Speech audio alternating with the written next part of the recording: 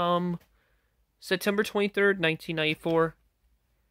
I've already have the 1994 Disney live action movie on VHS, so yeah.